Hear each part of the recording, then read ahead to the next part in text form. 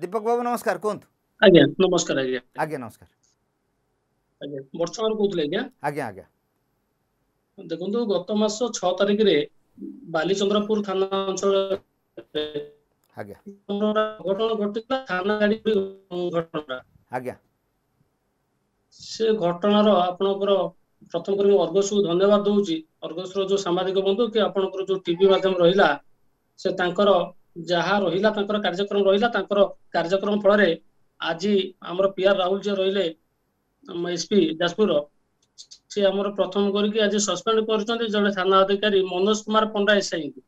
ଆଜ୍ଞା ଆଜ୍ଞା ଆଜ୍ଞା।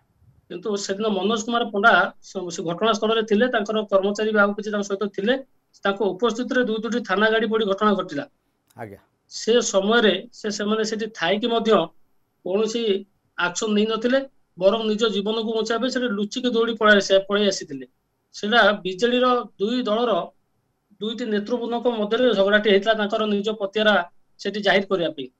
ସେ ଘଟଣାସ୍ଥଳରେ ଆଜିକି ପାଖାପାଖି ଗୋଟେ ମାସ ବିତି ଯାଇଥିଲେ ବି ତାଙ୍କର ସେଠି ଯେ ଥିଲେ ଆମର ଥାନା ଅଧିକାରୀ ଆଉ ବାକି ଯୋଉମାନେ ରହିଲେ ଗୋଟିଏ ପକ୍ଷର ଯିଏ ରହିଲେ ଆମର ନାରାୟଣ ଚନ୍ଦ୍ର ଧଳ ତାଙ୍କୁ ଗିରଫ କରିଥିଲେ। କିନ୍ତୁ ଅନ୍ୟ ପକ୍ଷରେ ଯିଏ ଅଛନ୍ତି ଶିକ୍ଷକ ବୃତ୍ତିରେ ତାଙ୍କର ମିସେସ୍ ଅଛନ୍ତି ସେଠି ସରପଞ୍ଚ। ବିଜେଡି ଦଳର ନାରୀ ସଭାନେତ୍ରୀ ବର୍ଚଣା କନଷ୍ଟିଚୁଏନ୍ସିର।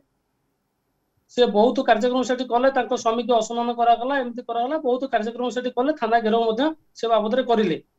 କିନ୍ତୁ ବର୍ତ୍ତମାନ ପର୍ଯ୍ୟନ୍ତ ଯେ ମିଟୁ ଅଛନ୍ତି ସେ ଆମର ରହିଲେ ଶିକ୍ଷକ ବସନ୍ତ ରାଜ ସାମଲ ତାଙ୍କୁ ବର୍ତ୍ତମାନ ପର୍ଯ୍ୟନ୍ତ ଥାନା ଗିରଫ କରିପାରିଲା ନାହିଁ। ଥାନା ହାତ ଖାଲି। ଏ ବାବଦରେ ଆମେ ଅନୁରୋଧ କରୁଛୁ ଦାବି ମଧ୍ୟ ରଖୁଛୁ ଆପଣଙ୍କ ଗଣମାଧ୍ୟମ ଜରିଆରେ ଏହାର ଆହୁରି ଯେମିତି ଖୁଲାସା ହେଇପାରିବ ଗଣମାଧ୍ୟମ ଆପଣ ସେ ପ୍ରଚାର ପ୍ରସାର ମଧ୍ୟ ଜାରି ରଖୁ ଆମେ ମଧ୍ୟ ସହଯୋଗ କରୁଛୁ ସେ ଦାବି ବି ମଧ୍ୟ ଆପଣଙ୍କ ଜରିଆରେ ଆମେ ଆଉ ଗୋଟେ ଦାବି ରଖୁଛୁ ପିଆର ରାହୁଲକୁ ମଧ୍ୟ ଅଭିଯୋଗ ତାଙ୍କ ପାଖରେ ଆଉ ଗୋଟେ ଆମ ତରଫରୁ ସାଧାରଣ ତରଫରୁ ଜନ ତରଫରୁ ଗୋଟେ ଅପିଲ ରଖୁଛୁ ସେ ଯଥା ସମ୍ଭବ ସେ ଅଶିକ୍ଷିତ ଶିକ୍ଷକଙ୍କୁ ଆଗେ ତାଙ୍କ ଚାକିରିରୁ ନିବୃତ୍ତ ରଖନ୍ତୁ ତାଙ୍କୁ ବହିଷ୍କାର କରିବା ସହିତ ତାଙ୍କୁ ଗିରଫ ବି କରାଯାଉ। ନିଶ୍ଚିତ ଭାବରେ ଦୀପକ ବାବୁ ଆପଣ ସ୍ଥାନୀୟ ଜନତା ହିସାବରେ ଆପଣଙ୍କର ପୁରା ଅଧିକାର ଅଛି ଆପଣଙ୍କର ମତକୁ ଉପଯୁକ୍ତ ଭାବରେ ଉପସ୍ଥାପିତ କରିବା ପାଇଁ। ଆପଣ ଆପଣଙ୍କ ମତକୁ ଉପସ୍ଥାପିତ କରିଛନ୍ତି। ପୋଲିସ ଏସ୍ଆଇକୁ ନିଲମ୍ବନ କରାଯିବାକୁ ଆପଣ ସ୍ୱାଗତ କରିଛନ୍ତି। କିନ୍ତୁ ଆପଣ ଯାହାକୁ ଅଭିଯୁକ୍ତ ବୋଲି କହୁଛନ୍ତି ଶିକ୍ଷକଙ୍କୁ କାହିଁକି କାର୍ଯ୍ୟାନୁଷ୍ଠାନ ନିଆଯାଉ ନାହିଁ ନିଆଯିବା ଉଚିତ ଆପଣଙ୍କର ମତାମତ ଦେଉଛନ୍ତି। ଇଏ ପ୍ରସଙ୍ଗକୁ ଆମେ ବଡ଼ କରିକି ଦେଖେଇଛୁ ସବୁ ପକ୍ଷକୁ ନେଇ ଦେଖେଇଛୁ।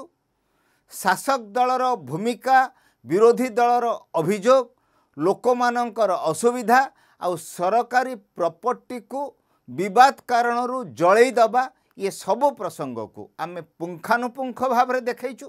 ଗଣମାଧ୍ୟମ ଭାବରେ ଇଏ ଆମର ଦାୟିତ୍ୱ। ସିଏ ଯେତେ ପ୍ରତିପତ୍ତିଶାଳୀ ହେଉ ସିଏ ଯାହାଦ୍ୱାରା ସୁରକ୍ଷିତ ହେଇଥାଉ ପଛେ ଯେଉଁ କଥା ସାଧାରଣ ଲୋକ ଅଭିଯୋଗ କରୁଛନ୍ତି ସେ ଅଭିଯୋଗକୁ ଦେଖେଇବା ହେଉଛି ଆମର ଦାୟିତ୍ୱ ତାକୁ ବିତର୍କ କରିବା ହେଉଛି ଆମର ଦାୟିତ୍ୱ। ପୋଲିସର ପ୍ରଶାସନର ଦାୟିତ୍ୱ ହେଉଛି ତଦନ୍ତ କରିବା ଦୋଷୀ ପର୍ଯ୍ୟନ୍ତ ଅଭିଯୁକ୍ତକୁ ପର୍ଯ୍ୟନ୍ତ ପହଞ୍ଚିବା ଆଉ ଆଇନ ଅନୁଯାୟୀ ତାକୁ ଦଣ୍ଡ ଦେବା। ଆପଣଙ୍କର ଅଭିଯୋଗ ତଦନ୍ତ ତା ବାଟରେ ଯାଉନି ଠିକ୍ ଅଭିଯୁକ୍ତକୁ ପୋଲିସ କାର୍ଯ୍ୟାନୁଷ୍ଠାନ ନେଉନି ନିଶ୍ଚିତ ଭାବରେ। ଇଏ ଚିନ୍ତାର ବିଷୟ ଗୁରୁତ୍ୱପୂର୍ଣ୍ଣ ପ୍ରସଙ୍ଗ। ସାଧାରଣ ଜନତା ହିସାବରେ ଯେଉଁ ପ୍ରସଙ୍ଗ ଉଠେଇଛନ୍ତି ଉଠାଉଛନ୍ତି ଆମେ ସେ ପ୍ରସଙ୍ଗର ବିଭିନ୍ନ ଦିଗକୁ ଆମେ ଦେଖେଇଛୁ ଆମେ ପକ୍ଷ ନୁହେଁ ବା ବିପକ୍ଷ ନୁହେଁ। କିନ୍ତୁ ସତକୁ ସତ କରି କହିବାର ଆମ ପାଖରେ ଶକ୍ତି ଅଛି ସାମର୍ଥ୍ୟ ଅଛି। କାରଣ ଗଣମାଧ୍ୟମର ଦାୟିତ୍ୱ ହେଉଛି ଭୁଲକୁ ଭୁଲ ଠିକ୍କୁ ଠିକ୍। ଲୋକମାନଙ୍କ ଭାଷାରେ ଲୋକମାନଙ୍କ ବକ୍ତବ୍ୟ ଆଧାରରେ ଲୋକମାନଙ୍କ ମତ ଆଧାରରେ ସର୍ବସାଧାରଣରେ ବିତର୍କ କରିବା ସେ ଦାୟିତ୍ୱ ପୂର୍ବରୁ ପାଳନ କରିଛୁ। ଆପଣ ଯେଉଁ କଥା କହୁଛନ୍ତି ଏ ପ୍ରସଙ୍ଗକୁ ଆମେ ଆଗାମୀ ଦିନରେ ଆହୁରି ଫଲୋଅପ୍ କରିବା ପାଇଁ ମଧ୍ୟ ଚେଷ୍ଟା କରିବୁ। ଆପଣ ଆମ ଫୋରମକୁ ଆସିଲେ ଆପଣଙ୍କର ଗଣତାନ୍ତ୍ରିକ ଅଧିକାରକୁ ସାବ୍ୟସ୍ତ କରିକି ଆପଣଙ୍କର ମତ ରଖିଲେ ସେଥିପାଇଁ ଆପଣଙ୍କୁ ଅଶେଷ ଅଶେଷ ଧନ୍ୟବାଦ।